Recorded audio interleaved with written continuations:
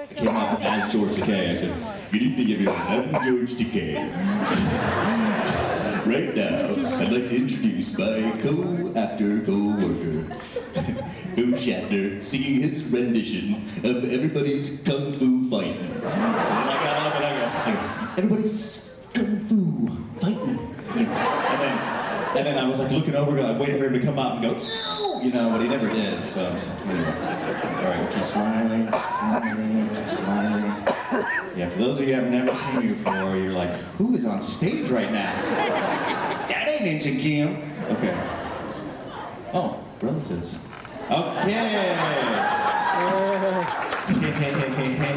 My mom calls me like, we're in traffic right now. I don't think we're gonna make it.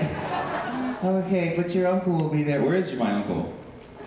Oh, he's a sit- why are you sitting aside to that side? There's not enough room, huh? Okay. All right, so we're just gonna go down. Um, first, my mom and dad are here. Mom and dad, stand up, please. All the way from Kitchener. AKA Berlin. Germans in the house. Okay. Then, uh, uh, the, now, how, what, how do I call these? Uh, my aunt, my, yeah, great aunt, grand aunts. Okay, everyone, grand, great grand aunts and aunts, everyone clap for them, please. Yeah. My cousin Timmy, right here, Timmy, please stand up, right here. My Uncle George, right here, and my great uncle, I guess I could say over here. Uncle George lives in Mississauga. He has like a photo developing store. Where's it at? Where's it at? Is it, is it used to be or is it in now? It used to be in Richmond Hill. Where, where is it now?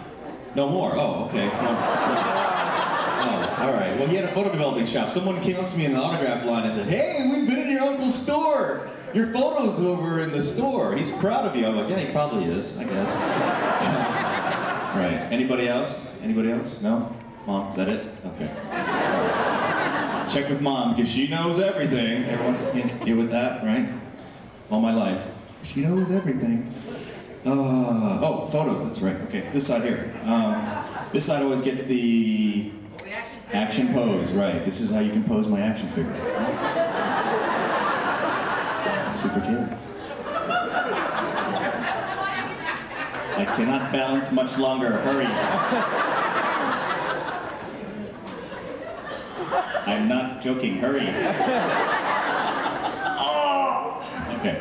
All right. So very quickly, just so you get your cameras ready, because I am coming down. Okay. I'm gonna come on this side, then I'm coming in the middle, then I come right there. There you go. You guys already had yours. Come on. Ready? I started doing this because I was in Oklahoma City and the crowd was so large, and I was doing my standard left, center, side, and I realized that people in the back were, you know, were getting pictures of me, which I, I looked like an ant on stage. So I said, I'm gonna, wah, say that again. This whole time I'm walking up and the little, the baby's like, wah, wah, wah. I walk up, it's like, mm, quiet. Got it? Okay, that's good. I, I'm gonna I'm gonna be so blind after this. All these flashes. Okay, good. Got that? Yeah, see spots. Ready?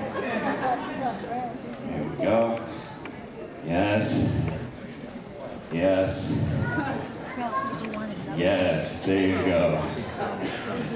Okay. See, when I run for president of the world, I get all your votes. Yes. Okay.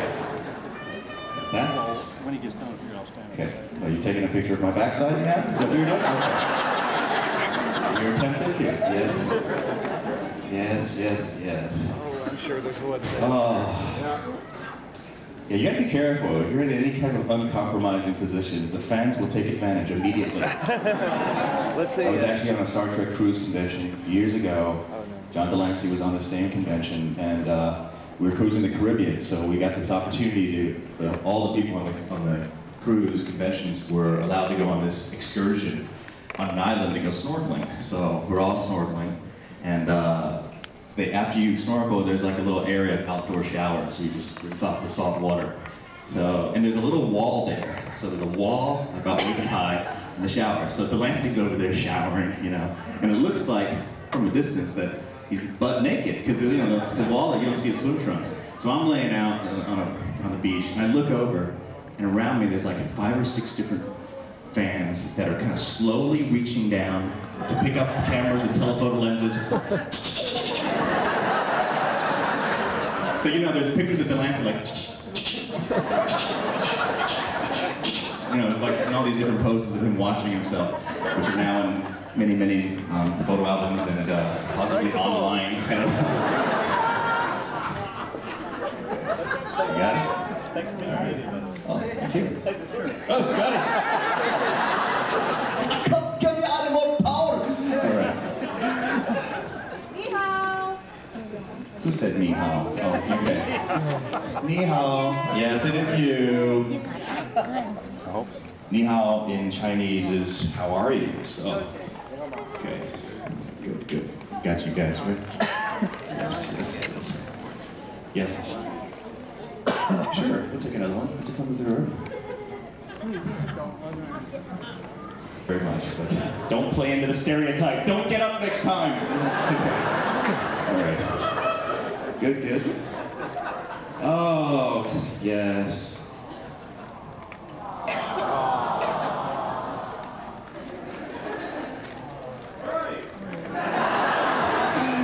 Yeah. What? Shh. What? Who? Wait, wait, wait. Okay, I want to hear.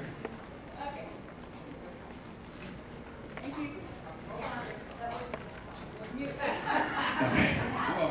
You're welcome. So you, you want a picture with who? With my family? All right. Okay. You guys stand up. Uh, it's easier to do it here. We- I'll tell you what, we'll stand right here along this way.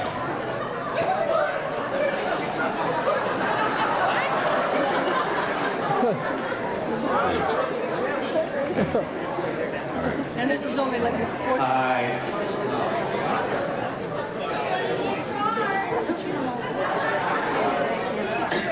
Boy, this is a first. oh, man. Here, over here.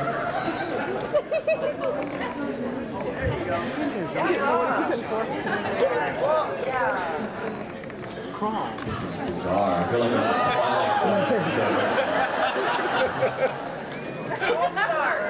Oh my goodness. Thank you. Yeah. Now you guys know what it's like when you went to a movie premiere, huh? Okay,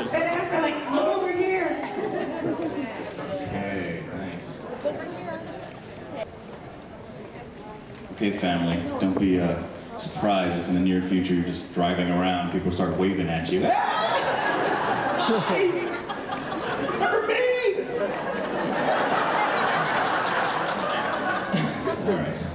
Um, let's see. Oh, what did we talk about yesterday? Kinds of things. We could talk about a elbow. I told the elbow story, right? Everyone knows the elbow story, right? Who doesn't know the elbow story? I just want to hear it. Are you kidding me? All right. Gosh. All right, what is the elbow story? The elbow story has to do with Jeri Ryan, okay? Seven of Nine. Um, basically, seven of nine and I are shooting a scene walking down the corridor, okay? Um, so we're filming the scene and we're going through the rehearsal process so they can, the camera crew gets to see how we're going to be walking this and the lighting crew gets to see what they need to do to light the scene. So we're walking along and then the director says, cut, go back to one during the rehearsal. Go back to one means go back to the first position, start the rehearsal again so we can look at it again. Well, when he said cut, go back to one, I turned around, took a walk back, and I reached back to grab Jeri Ryan's elbow, to, like, to, to lead her back, like, come on, honey, let's go. And I reached back, and instead of her elbow, I grabbed a hold of her left breast. For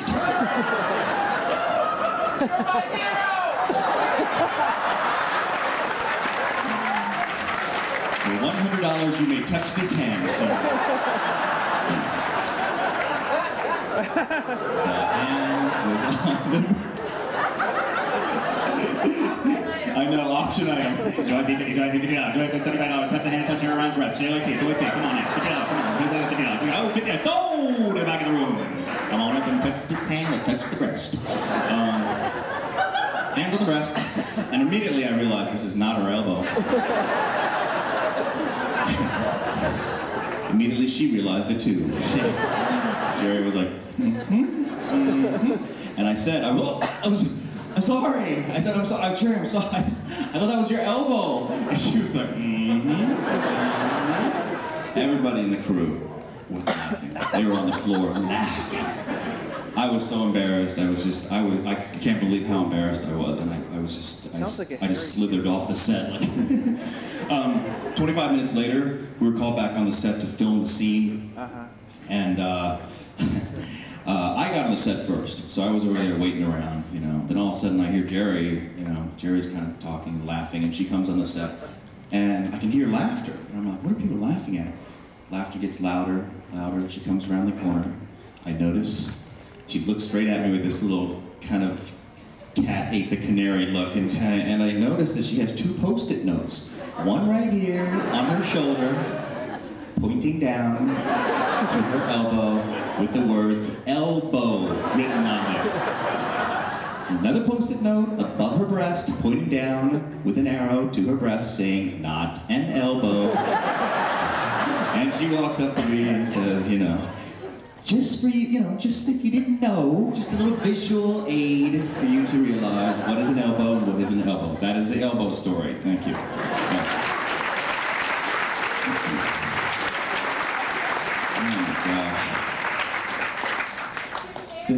Huh? Two Harrys what? Oh, yeah, what was the story I was going to tell you? Oh, yeah, this, this lady was in the autograph line. She was, she was mentioning that during that one episode um, where the, uh, what was the alien race that had all the different Vidians. parts? Vidians. What was the name of the episode where they came in and were harvesting us and Harry Kim, number one, falls out through the air, air hatch? Does anyone remember that? Oh, shoot. What, what's the name of it? Deadlock. Oh, you get the prize. You're good. Deadlock. Okay, so during Deadlock, Harry Kim 1 is gone. Harry Kim 2, the duplicate, is the one who's still alive through the rest of the series. Um, but what was funny was uh, just how the rest of the crew dealt with that. I mean, do you remember that? Like Kim like falls out the air, he's like, ah! And B'Elanna like, Harry! And then all of a sudden, you know, Janeway calls to, to you know, B'Elanna, what's going on? Harry's dead or he's gone. And goes, okay, all right, what else is going on? You know, I mean, there was like no, there was no care or concern, and it was just, and this just goes to show you, I mean, all throughout the series, it's Harry that gets, he's the first one that dies. Harry's always getting abused, and when he dies, no one cared. It was just like, who cares? Ten minutes after that, after she, Janeway is like brushing it off, she walks over to Tuvok and says, Mr. Tuvok, give me a status report. And Tuvok looks over and he's like, he's like, well, we have uh, five crewmen who are injured. We have this deck six is imploded. Da, da, da, goes through the whole thing. And not once he goes, Ensign Kidd is dead. He doesn't even say that. I'm not even on the sheet any longer. It's like, uh, oh well, so it's okay. We'll use that other Asian extra walking in the background to replace you. No problem. Because I'm Tuvok. If you, call, if you call Tim Russ's, well, you're not going to call it because you don't know his number, but when I call Tim Russ's answering machine, his phone, his answering machine goes off. It, he sounds just like Tuvok. Hello, you've reached Tim Russ. Please leave a message. I mean, there's no difference between Tuvok and Tim Russ. He is Tuvok to the point where sometimes I forget his real name. I'm like, hey, Tuvok, what's up? How are you? Uh, the show's been done for two years. My name is Tim Russ. Tuvok. Okay. Um, any questions? Any questions? Any questions? There's a little mic there? Okay. That's all right. We don't have to have questions. I'll just keep going. Um, yeah, when I first got on the show, that was uh, that was an amazing time. It really was. Um, we were talking about. Uh, I booked like three or four different projects at the same time. I, I booked a role on Mortal Kombat. I booked a role in a movie. I booked Star Trek. I had to turn down everything to do Star Trek because of uh, uh, the whole fiasco with Bujold uh, being the captain for a day and a half. And uh, when she left, you know, the whole the whole operation shut down. They had to look for another captain. So they looked long and hard and wide, and the rumor was they were going to cast a male captain. They said, if we can't find a female captain, we're going to have to get, have a male captain. The next rumor was if they cast a male captain, one of the other characters who's already cast has to be changed to female. So that means somebody's going to lose their job, you know. At which point I was like, I can do Tootsie. I can do Tootsie. Mm-hmm. Hello, Harrietta Kim. How are you? Do You like my wig? anyway, um, but that didn't happen, thank goodness. So yes, question. Mike.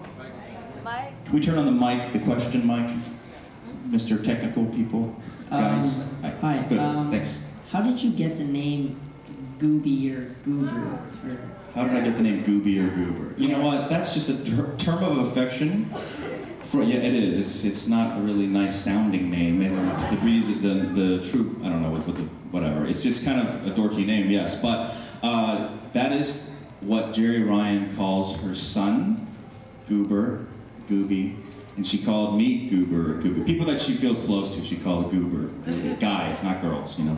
Um, and I remember one day uh, she called Robert Beltran, you know, Goober, and I was so offended. I was like, he's not Goober, I'm Goober. Oh! I was so upset. I was like, and she's like, oh, okay, you can be Goober number one, Robert's Goober number two. I was like, that's better. As I'm number one, that's fine. So, felt a lot better about that. Yes, next question. Um, this isn't a question, but I know that your favorite episode is Timeless, and I have the card here for you. Oh, you do have the top. Oh, is that you're gonna? Yeah, it's for you. Oh, thank you. Come on up. Look at that. She has a card, trading card for me from. Oh, thank you. Here, can I have a? That's all. Thanks. And it's in plastic too. And her phone number. Hey. Just kidding. Okay. She's like, I'm 12. uh, yes. Uh, what was the hardest episode to film? The hardest episode to film. Yeah. Uh, the Chute. that wasn't supposed to be funny, but that He's like, the Chute. If you remember the Chute, that's the prison episode with Kim and Paris in prison. Um, season three. And the reason why that was the most difficult episode to shoot, to film, the Chute was the most difficult episode to shoot. Okay. Um, was because that episode took place in that prison the whole time, which was very. They used a lot of. Uh, they brought in a lot of like dirt and, and, and all kinds of things, which were, I think, carcinogenic actually, and we were inhaling, you know, all kinds of particles. Um, so that by the end of the episode, it was a seven-day. All our shoots take about seven days. All the episodes take about seven days to film, and at the end of the seven days, I think 60% of the crew had some version or form of bronchitis, you know, more than half. Um, all the ca- I did myself. I, I got bronchitis. Uh, all the other people working on that were just dying. Um, and beyond that, I, there was also a lot of just physical injuries too during that show. So that was the most difficult, I have to say. Yes. I was asked to ask you about the kissing the cow episode. The kissing owl. The cow. Cow. Oh, the kiss- oh. Spirit folk. Yes, Fairhaven, the the Irish. Uh, yeah. Um, speaking of which, actually, that during that episode, I had done the entire scene. I prepared the entire scene with an Irish accent, but they didn't let me do it. So, you know. bastards. Okay. I don't know the scene. I can't do it. Yeah. so the uh, the cow kissing the cow was. Um, why did I kiss the cow? I, well, I kissed the girl who became the cow. Right? Yes. Uh, what's your question about that, though? I don't know, I just asked ask it. Um You just want to get on that mic, didn't you? You just want to get attention. Who said that? Who told you to uh, go ask that? Point the person out. Did you ask her that? Oh, okay. All right. Next. Why did Harry Kim turn down 7 of 9? Say it again. What? Why did Harry Kim turn down 7 of 9? Why did Harry Kim turn down seven of nine? I don't remember anything. Good question, young man. Let's just turn back the pages of our memory and go back to that episode, right? There we are. I'm reading, well, let's go back even further. When I was first reading the script for it, okay?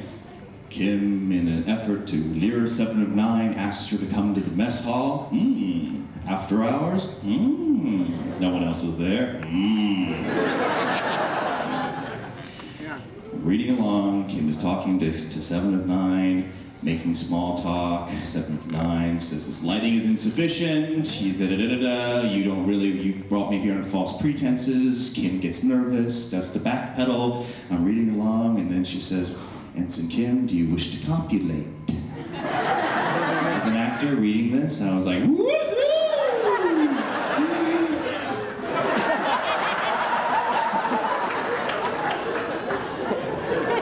Okay, I did a jig when I read this. I was like, yeah! Look at this. I am an Irish leprechaun now. Okay, so that was an exciting time when I read that. Then I read the next line. Kim answers, no.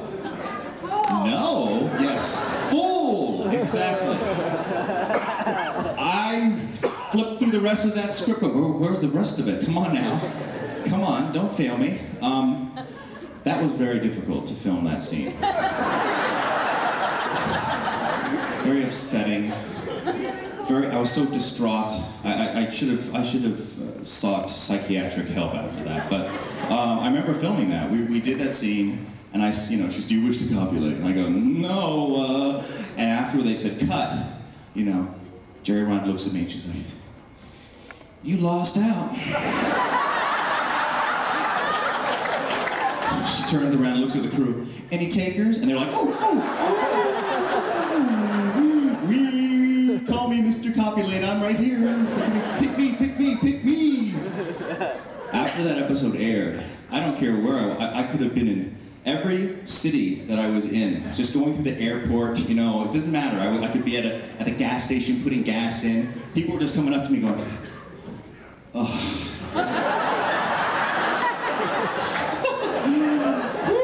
yeah, okay, okay. Talk to the hand. I mean, it was just that people were absolutely just, you know, distraught for me, going, you, you same thing. Subtext, you lost out, buddy. You know. So that was a very, very difficult time. Thank you for bringing up such sore, sore things that, that I, yes, thank you so much. Next. Continuing with that open wound. Yes, continuing with that open wound, what do you have for me, young man? No, no more. No one under 18 is to ask another question. That's the problem here. The kids always kill you. Yes. Did you ever get tired of filming constantly those romances that failed? The hologram, the xenophobic person that made you glow. What are you, a writer? Keep going. All right. Keep going. The wrong twin. Yes, the wrong twins. Yes, you're right. Well, did I get sick of filming those? Yes, I did. You're right. Kim has gone through everything. No matter if he wasn't being beaten or tortured, he was torturing himself, going for the you know a holographic character, the dead girl. Remember the dead girl? What's up with that? Come on, Kim. The dead girl. That's good. Um, but it's it's. Uh, it's funny. I mean, a, a friend of mine was like, "Yeah, they should film an episode where you know Paris comes up to your door and he opens up the door and all he sees like a pair of like purple feet and your feet on the bed at the end, you know, just to show that you actually got something." But uh, next, yeah, still didn't exactly. Hi, um, I was just wondering, as an Asian American actor, is it difficult for you to get roles? Is it difficult for me to get roles? Yeah, I think it's like aren't stereotypical. Yeah, there's a lot of very stereotypical roles out there. I was very lucky in being able to play for the length of time that I did. Um, it seems uh, that a lot of roles in Hollywood for Asian Asian actors tend to have to be involved with martial arts somehow, or you know, some schlocky accent. You know, oh, I brought you a wonton soup, Mr. Smith. You know, whatever. So it's just things like that, which are you know, that's great. There are people who talk like this, but also people that talk like this, you know. And then there's people who are Asian who talk like this too in the South, you know. Um, huh? Clyde, yes, Clyde Kusatsu. In his John Wayne accent, exactly. Very good, very good example, sir. Um, and so it is difficult. I think Hollywood is very slow to change. Um, Hollywood is also becoming more global. They're being more dependent dependent upon revenue from um, box office sales from other countries. So I think as as uh, China comes into its own and, and uh, with its massive population, maybe then you know things will change a little bit more. And um, it'd be nice to see Jackie Chan, you know, maybe do a role where he doesn't do one kick, you know, and see what happens with that, right? I mean, he's a good comedic actor. He could, he could pull it off. Um, so yeah, it is a little bit difficult, but uh, that's one of the reasons why I'm in this business to try to make that change. Thank you. Yep. Oh, thank you for the two claps over there. Appreciate it. yes. Young man. What was it like working on the set of Voyager? What was it like working on the set of Voyager? Um, it was uh, it was like eating Brussels sprouts. No, it was like it was, it was I thought it was better than that. No, it was uh, it was it was fun. It was t- tiring sometimes. We were there a long time. My longest day on the set was 22 hours. 22 hours. And I was during the pilot filming Caretaker. After that 22 hours was done, they were like, "Thank you, good work." And at 22 hours, you're delirious. You're like, Ugh. And he said, "Thank you, good work. We need you back here in five hours from now." So it was. I said, "Well, why don't I just sleep right where where we're standing?" You know. Um, but yeah, it was fun for the most part. But you know, the hours could be long. Thank you for your questions, young man. Um, yes. Hi, I just uh, wanted to ask what the auditioning process was like for the role, and like what what do you think you did to stand up to get it? To get the role, um, I bribed them. I mean, there was a lot of money involved. Now, uh, the auditioning process was difficult for me because I didn't have any major credits, so they were they kept having to bring me back. I had uh, I think six six auditions, maybe seven, six auditions, yeah. And typically, just to give you something to compare it to, Roxann Dawson, Tim Russ, those guys were cast within two auditions. That's it. So I, I kept having to come back and come back, and, and the fifth audition they had me up against some kid from New York. It was me and some Asian kid from New York, and the two of us were there. And, and uh, after we were done, I asked the casting director, I go, what's going on? They go, oh, they're sending the, the New York kid back to New York. I go, did I get the job? They're like, no, no, no. Now, but you're still in the running. They still like you, but now they want to see, they want to audition um, for another two weeks to look for older Ensign Kims, like 30-year-old Ensign Kims, and then bring that guy against you. So I said, all right. And my uh, my talent agent said, don't do this. Just tell him to, you know, go where the sun doesn't shine. And I said, I said, well, I'll just I'll hold on. And um, it just they brought one guy. The sixth audition was against that other guy, the older guy, and um, I think uh, uh, he ended up looking not really close to what they wanted, but he was a good actor. So they just kind of threw threw it at me. But usually TV shows they try to cast people who already have a lot of experience because it's a lot of money involved in terms of the production, and they don't want to have people that are novices. But it was um, it was a long, long, drawn out process to get that role. Uh, but finally got it, which is a good thing. um, thank you, thank you. After, it was very funny. After getting the role, there was a there was a lot of you know crazy things that happened. And first of all, Geneviève Bujold being there. I mean, her her rendition of, of Janeway was really interesting. I mean, it was like uh, that one scene The Caretaker in the beginning. Janeway comes in, she walks onto the bridge, and she uh, she uh, says she comes over to Kim's station. She's like, uh, uh, "Is everything ready?" And I said uh, something like, "Yes, ma'am," and, or, or, and she says, uh, "It's it's not crunch time yet, Mr. Kim. You know, call me captain or something like that." And she comes down here, says hello to the first officer, sits down in a chair, and says, "Engage." Well, the way she did it, she came over, said something to me, walked over to the chair, sat down, closed her eyes, and she went, engage. she went like, engage. Everybody was like, uh-oh. I mean, the camera crew, the actors are like, that's not very captainly. That's kind of like, you know, independent film Star Trek, you know, or, or just like artsy, artsy film Star Trek delivery. Engage. What is that? So, she quit the next day. Kate Mulgrew gets hired. She comes out to do the same scene, and everybody's nervous at this point. She's filming the same scene. They're like, "What is she gonna do?" You know? she comes through. She's like, "All right, everything good? Okay, it's not crunch time yet, Mr. Kim." She walks over here, just kind of real butch and stuff, and she's, "What's that?" Engage. People were like, "Hallelujah,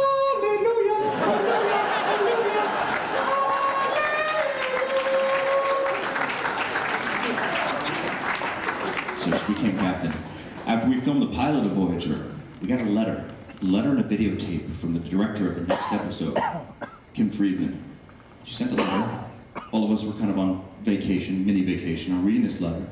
Dear crew, uh, dear cast of Voyager, my name is Kim Friedman. I'm the director of the second episode after the pilot episode Caretaker. I have directed several Deep Space Nines, and I would like to tell you that none of you know how to shake. S H A K E, shake. None of you know how to shake properly, okay? Now, enclosed in this package is a videotape of various Voyager actors shaking incorrectly. Later in this footage, there's various uh, footage from various Deep Space Nine actors shaking correctly. Feel free to practice this at home before beginning. I'm serious, I'm not joking. Feel free to practice this at home. The key when shaking is to shake from the center and let the extremities follow. Do not bend over and shake. This is incorrect form. Uh, if still after practicing at home you have further problems, feel free to contact any of the Deep Space Nine actors for a demonstration. So when you're, you know, whenever the, the ship gets hit, you know, they're like, shake, you know, you know, you've got to have the right shake, not like, ugh, ugh. You know, that's not good. You have to shake from the center, right? Shake. So I just thought that last part was just hilarious. You know, you, I'm like, I still don't get it, so I'm walking down over to Deep Space Nine set, knock on Avery Brooks' trailer. yes. hey, Avery! Can you show me how to shake? Yeah, I'll shake your butt right out of here. You know? he would have drop kicked me. So, I mean, that was just the most bizarre, bizarre letter ever. But we all learned, and we became expert shakers, and all the guest stars that came on, we had to teach them how to shake, because they don't know either. You know? Yes, question? What you have to do for your job. Yes. Harry Kim, I believe, played the clarinet. Yes. Did you play it, or was it dubbed? Uh, it was it was actually dubbed. There was somebody else that played the soundtrack, but I had a clarinet teacher that came in every time I had to play clarinet for. We worked for maybe 10 to 20, 30 hours, literally, uh, because I, I was a stickler about. I wanted to make sure that when the song was playing, the playback, um, they were filming it.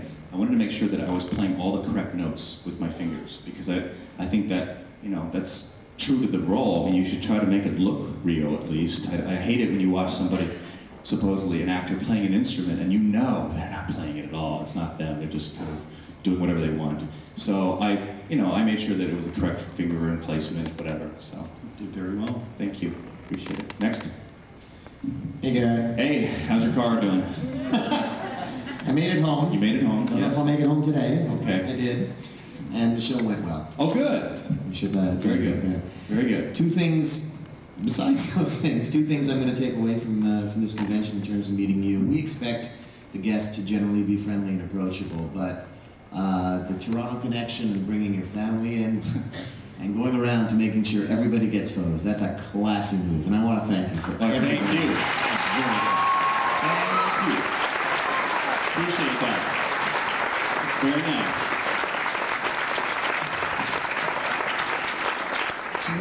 Um, I think it was the end of the third season, there were, I can lose my voice now, it's okay. Oh, yes, go ahead.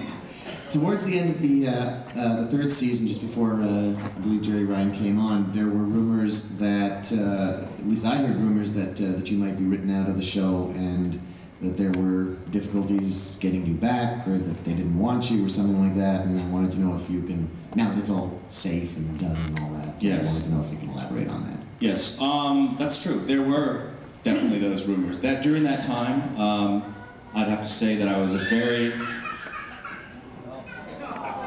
Oh, So they don't- they don't wanna see, that- she doesn't want me to say or talk about it at all. She's just like crying her butt off. Okay, poor girl.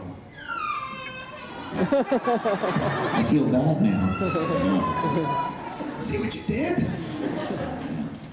No, um, being on the show as a young, early 20-something actor and uh, thrust into the limelight like that, you know, you tend to get a little full of yourself a little bit. And uh, I think I, I know I had my share of fun with whatever. And I did at that time have some problems with punctuality, with tardiness at the time. And that's what inevitably led to a meeting where they were saying, you know, if you just keep doing this, you're, you're, we'll, you know, figure out a way to write you out of the show.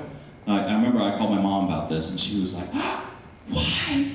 Why aren't you waking up in time? Son, what are you doing? How can you do this? You ruined this opportunity. And I said, Mom, calm down. I'll take care of this, okay? Don't worry about this. I'll take care of this. And a lot of it also was I was getting kind of upset because I felt that I wasn't being featured as much as I could have. I mean, I felt that, and by, by nature of having nine people on a show, you can't, you only get two episodes per year that focuses around you. So it's very difficult to have a lot of uh, great episodes. So I was, I was feeling that I was kind of going unused. So it was almost my way of lashing out, purposely being late at times. But my mom was so upset. I remember I said, "Look, it's it's fine." She goes, "No, I I can't take this." This was like on a Thursday. That I talked to her. I go to work Thursday. I'm on the set, and the security guard comes up and says, uh, "Garrett, somebody at the front gates of Paramount says it's, it's your mom." And she, I'm not in high school. I'm not even. I'm not in junior high. I'm not in high school. I'm not even in college anymore. And my mom's at, at the school doors, right? So she's at the front gate. And I'm thinking, oh my, I said, no, hopefully it's an imposter. Hopefully it's an imposter. It's not really my mom. Some crazy, crazy Chinese woman, but not my mom. It's my mom, okay? So it's my mom. She ends up going up into the office of Jeri Ryan, uh, Jeri uh, Taylor. Taylor. Jeri Taylor's office, uh, the one female executive producer, you know, and she's sitting there and she ends up, I find out later, you know, that she had been talking with Jeri Taylor saying, you know, you know, please, my son is a good boy, and this and that, and he really, he's, you know, he's got to give him another chance, and you know, and, and Jeri Taylor was like, I have a son, Alexander, he's also late, late to his, you know, calls, he's a, as an actor, also, I understand, and all this, and so, you know, she had flown from, at the time, she was living in San Francisco, she flew from San Francisco down to LA in this day to come and try to save my job, you know, which was just, I mean, that's really nice. That's a lot of concern. Thank you, Mrs. Wang. for Yeah,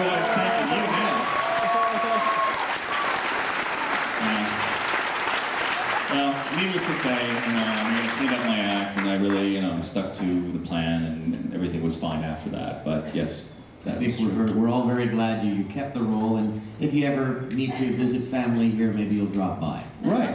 Maybe I will. Thank you. Thank you. Thank you. Thank you. Yes. Can you tell us, can you tell us a bit about the process and decisions of your getting into acting and moving to California and just, you know, getting started in your career? Yeah, I, um, I, I moved to California. I was born in California, moved from California to Indiana, Indiana, Bermuda, Bermuda to Memphis, Tennessee, Tennessee back to California for college at UCLA. Was pre-med to begin with, stopped being pre-med, changed from major to history, to econ, to poli-sci, to East Asian studies, and decided that I was going to go into acting, which immediately my parents were very upset about. They were like, no, this can't be happening. You can't be an actor. Are you crazy? Give us an example of a good actor uh, that's Asian American that's made it. I said, Bruce Lee. My mom said, he's dead.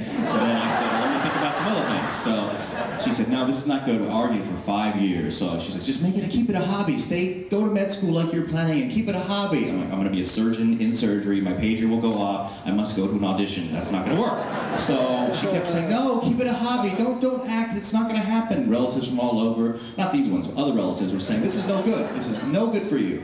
So five years later, I finally say, look, I'm going to do it. I don't care what happens. I'm going to do this.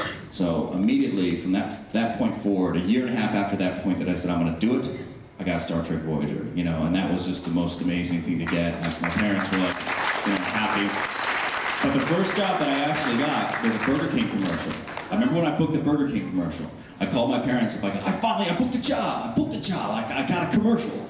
It's, you know, my mom and dad are like, they're, they're skeptical. They're like, oh yeah, when are we going to see it? I'm like, well, it takes a while to, to, to finish the production of the, of, the, of the commercial, and you're not going to see it for a few months. They go, okay, yeah, whatever, whatever. So then uh, three months later, they're in Las Vegas, and I get a call at like 11:30 at night, and they never call at 11:30, and it's my dad, and he never calls me because it's always my mom who's a yap yap yap. Okay, I get everything from her. My dad's like quiet, quiet. My mom's like, blah blah. So my dad calls up. He's the quiet businessman guy. and He's like, he's talking a mile a minute. He's like, son, son, we just saw it. I'm like, what? We saw your Burger King commercial. I'm like, huh? Oh, you look so good. You look. And I played the employee. I'm wearing the hat and everything. You look, and my dad goes,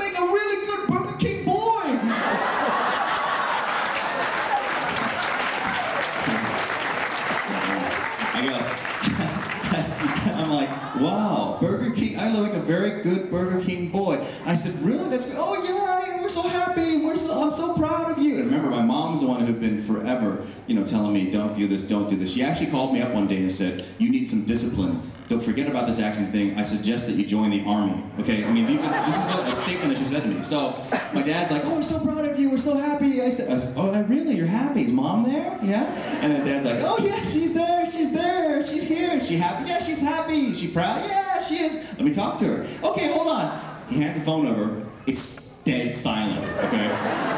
Hello? Hello? Mom, are you there? Hello? Hello? And all of a sudden, and there's silent because, she, you know, I, I showed her up basically, because mom's always right, right? And this chance she's not right. So she goes, she answers, finally she answers, she's like, yeah, I'm, it's, hi, I'm here. Oh, oh, hi mom, okay. Oh, okay, are you proud? Yes, I'm proud. I mean, it was, the, the subtext was hilarious, you know? It was the most, oh, coming up that way? So it was the absolute, absolutely the most uh, best time of my life, moment in my life when that happened. And they're coming, are you leaving?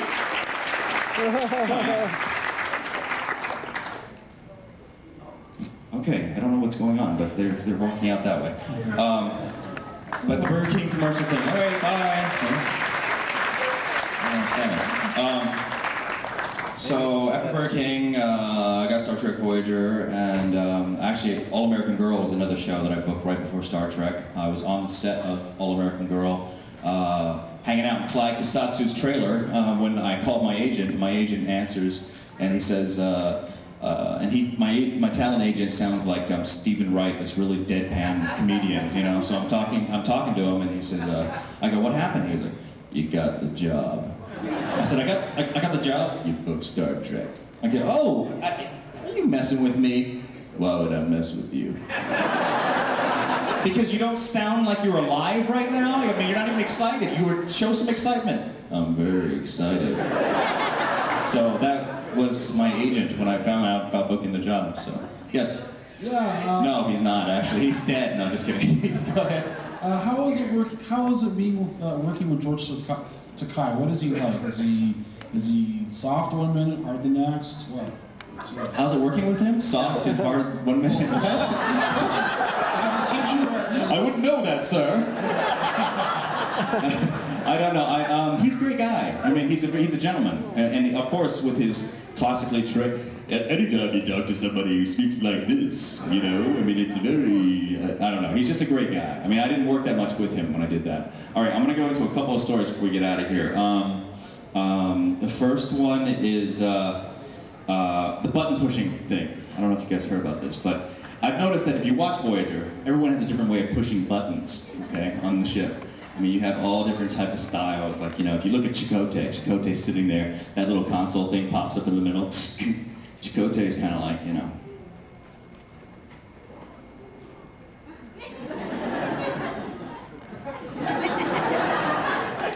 Robert Beltran, when he was younger, he was like the quarterback for high, s- uh, high school quarterback for football, and he was like a jock. So this is very similar to how a jock would, you know, kind of, you could see him grabbing some kid and giving him a noogie, you know, like that. That same kind of a thing, okay? Now, you watch Tim Russ, Tuvok, when he pushes buttons, kind of like this.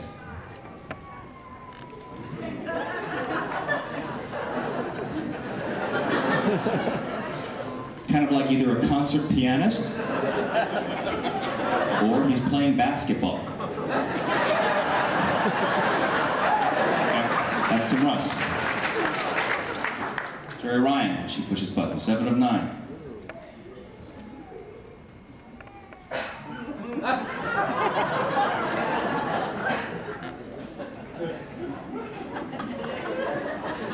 Like she's getting a manicure.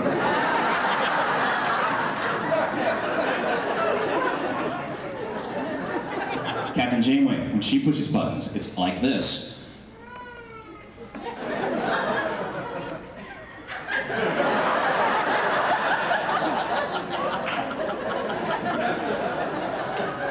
Almost like she hasn't read the manual.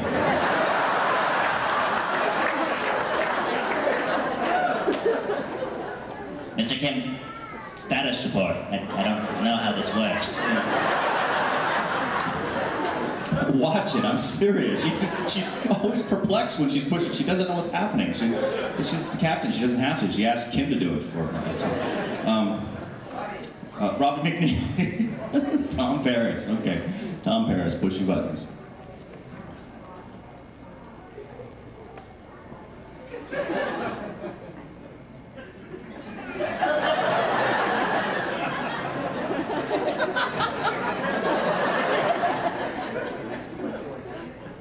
Almost like he- he's about to say this. Do you like fries with that?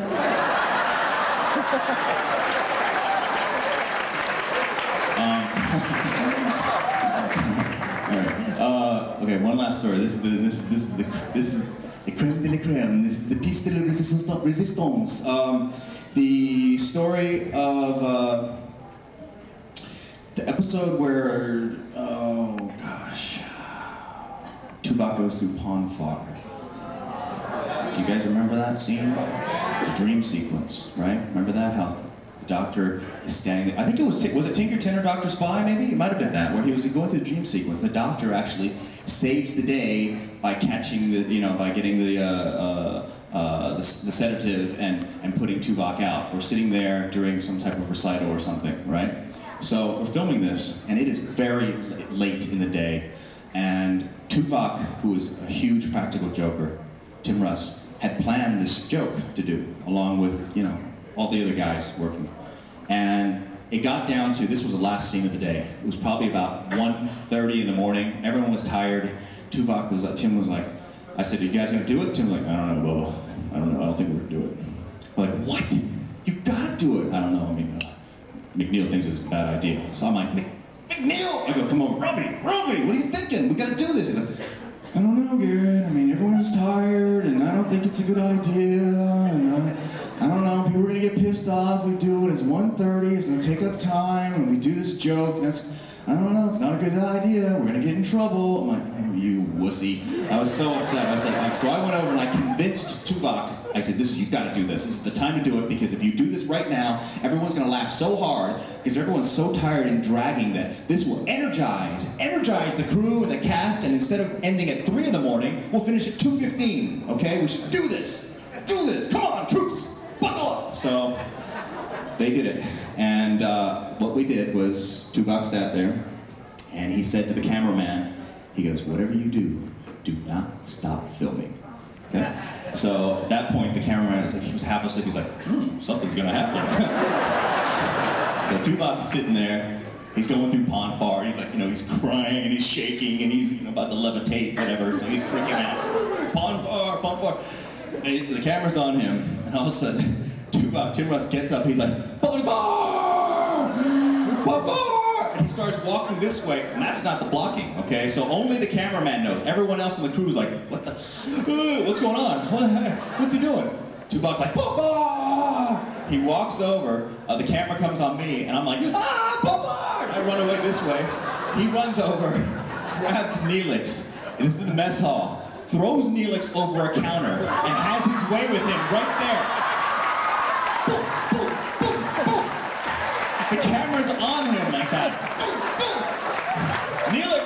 Was the funniest thing, his reaction was he's like, "Oh, oh, oh." he falls over, he's like, oh, oh, and then he looks up at the camera and smiles.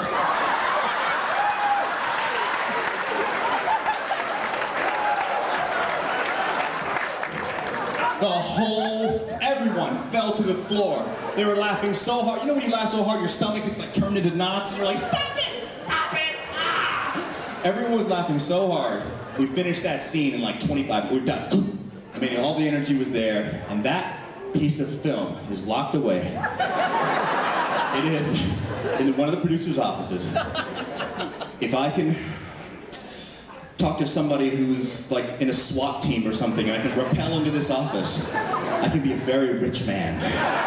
Very rich man. Forget about the Pamela Tommy Lee tape. This is a really good tape. All right, um, Toronto, thank you very much for having me. Uh, Glad to be here. Thank you very much. You've all been great. Thank you, thank you, thank you, thank you. Applaud for yourselves. It's been a long time coming. I hope you uh, invite me back for more crazy stories. And uh, well, thank you. Standing ovation.